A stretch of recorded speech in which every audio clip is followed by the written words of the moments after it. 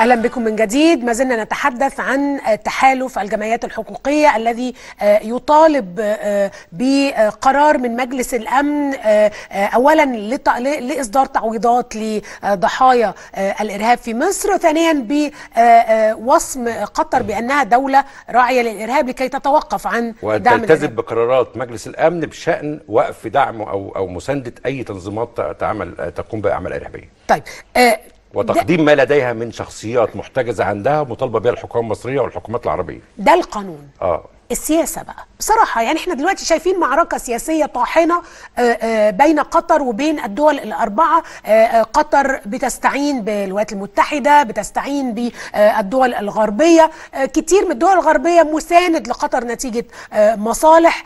لوكربي كان وضع مختلف. لوكربي أنت بتتكلم على دولة غنية اللي هي ليبيا وبتتكلم على دولة ضعيفة وبتتكلم عن الضحايا كانوا بريطانيين وأجانب. آه، هل يعني مع الاعتذار يعني هل العالم سينظر للمواطن المصري زي ما بينظر للمواطن البريطاني؟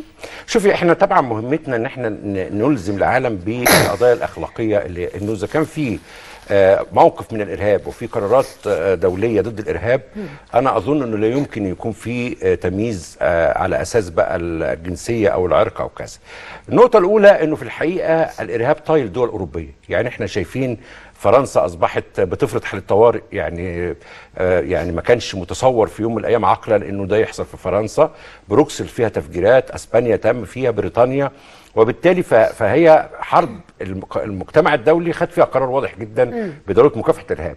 لا يمكن أحد من كل الدول الغربية دي إنه قطع يعني حتى وزير خارجية أمريكا اللي واخد موقف مغاير شوية لموقف الإدارة الأمريكية آه إنما يعني بيأكد على ضرورة أن تتوقف قطر عن دعم الإرهاب. يعني وهو شايف إن في التزام في قطر بأنها آه بالاتفاق اللي عملته مع الولايات المتحده الأمريكية وهو في الحقيقة رغم إن هو اتفاق بالتزام بعدم دعم الإرهاب لكن بيؤكد إن كان هناك سوابق على دعم الإرهاب. وبالتالي هناك قضية آه، سياسيا يعني نملكها بشكل قوي جدا إنه في آه، آه، قرارات دولية وفي تصريحات دولية وفي على مستوى المخابرات الدولية في أمريكا وفي أوروبا إنه في معرفة بإنه قطر تمول الإرهاب.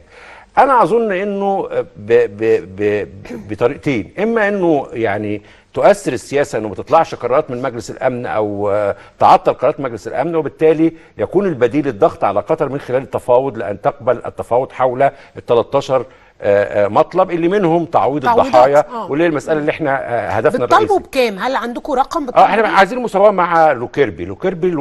الضحية الواحدة آه، آه، 10 مليون دولار فاحنا ده ده ده ده التعويض الدولي في مثل هذه في المسائل ال- الكام إحنا عندنا كام ضحية تقريبا؟ إحنا لغاية دلوقتي حوالي 1700 1700 ضحية. عندكم إثبات إن ال 1700 دول بتدخلات قطرية ولا ممكن يكون بقى جماعات إرهابية أخرى؟ ما هو الجماعات كتير لا لا غير جماعة الإخوان طبعا. آه لا ما طبعا يعني أغلب أغلب العمليات اللي, اللي بتتم في سينا وفي ال وفي ال وفي القاهرة آه أو في المحافظات يعني مدعومة من قطر. حتى حتى أقول لحضرتك يعني حتى آه، داعش نفسها دي هناك آه، داعش الأصلية هناك ما يؤكد على أن هناك دعم لداعش الموجوده أصلا في سوريا كانت بتدعم النصرة والنصرة من داعش و... الله ينور. فهناك إثباتات بس إحنا بنكمل ال- ال- التوثيق الملف لأنه لازم يبقى عندنا وثائق قاطعة. يعني عندنا معلومات لحد الآن لكن لها لسه في وثائق قاطعة. بنجيبها بقى من العراق ومن سوريا آه ومن ليبيا. بالإضافة للعلاقة طبعا مع داعش العراق هل قطر دفعت مليار دولار تقريبا آه، لداعش يعني عشان يعني لو أذكر تخلي الجندي ال- ال- قتل ال 25 جندي المصري.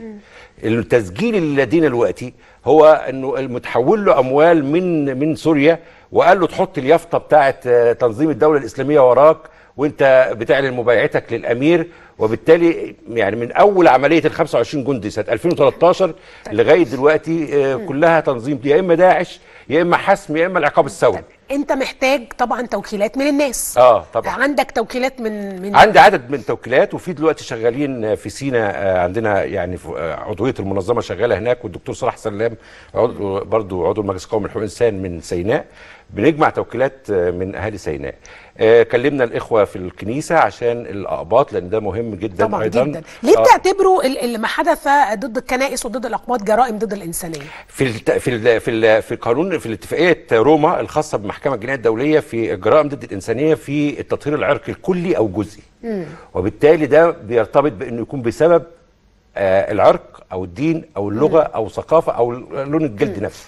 فبالتالي لما يبقى ده- عمليات مركزة على المسيحيين باعتبارهم مسيحيين ومحاولة تطهيرهم من من سينا واستهداف المعابد بتاعتهم فده دي دي, دي الشق الأساسي والجوهري اللي نقدر نروح بيه المحكمة الجنائية الدولية طيب آه، أنا بس عايزه أقول إنه على آه، website على صفحة المنظمة المصرية لحقوق الإنسان ده ده الب- البيان ال- أو يعني ده النموذج اللي الناس تملاه يا أستاذ حافظ آه ده النموذج ويتعمل بناء عليه توكيل باسم حافظ آه. السيد محمد اللي هو آه. حافظ أبو سعدة رئيس المنظمة المصرية ده يا. جماعة النموذج لكل آه، آه، ضحايا الإرهاب لكل من لديه في أسرته.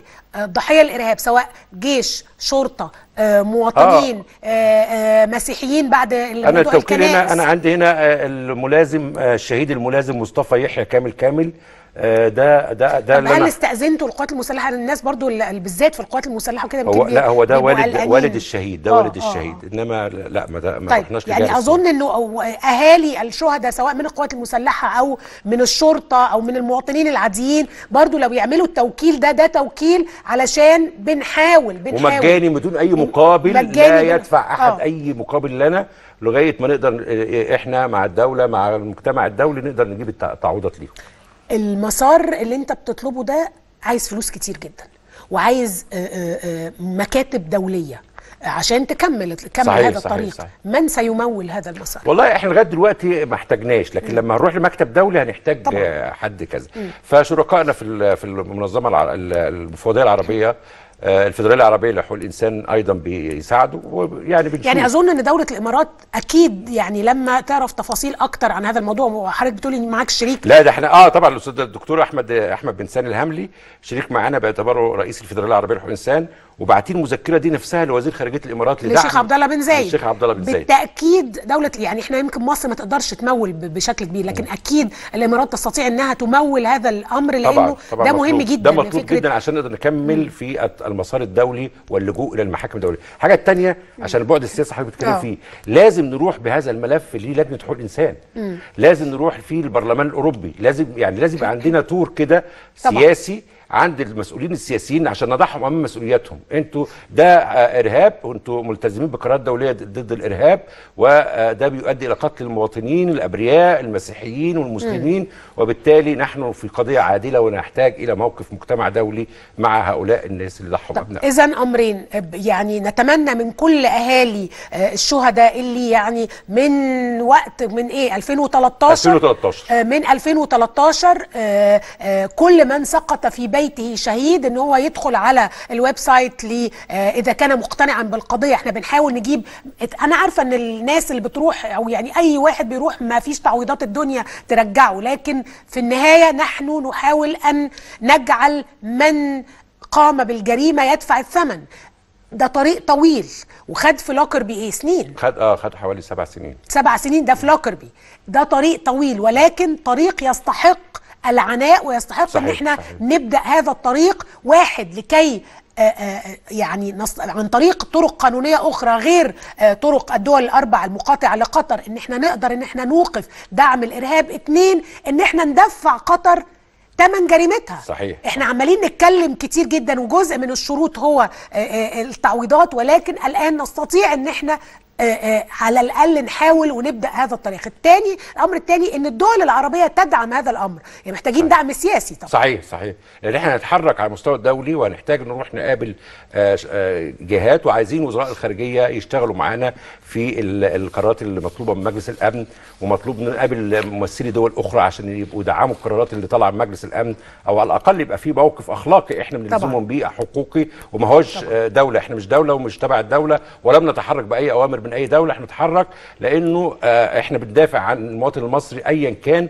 في تعذيب أو في قبض أو اعتقال. طيب في حق الحياة بقى اللي يموت الشهداء ويسقطوا لا كيف لا نتحرك وندافع عنهم؟ فدي نقطة في الحقيقة أخلاقية وحقوقية بالأساس. أنا بشكرك شكرا جزيلا دكتور حافظ أبو سعد رئيس المنظمة المصرية لحقوق الإنسان وعضو المجلس القومي لحقوق الإنسان وأتمنى فعلا لكم التوفيق آه ولكن هذا التوفيق آه لا يأتي فقط بالدعاء يأتي بتوكيلات من الناس عشان يقدروا إن هم ياخدوا قضيتكم لمرحلة أبعد يأتي بدعم سياسي من الدولة مصر والإمارات والدول آه الأخرى وليبيا طبعا ويأتي يعني بمحاولات بتمويل محتاجين تمويل وأظن إنه يعني يمكن دولة الإمارات تساهم في هذا التمويل بشكرك شكرا, شكراً. جزيلا ونخرج فاصل وبعد الفاصل الشهبان فرح ديبا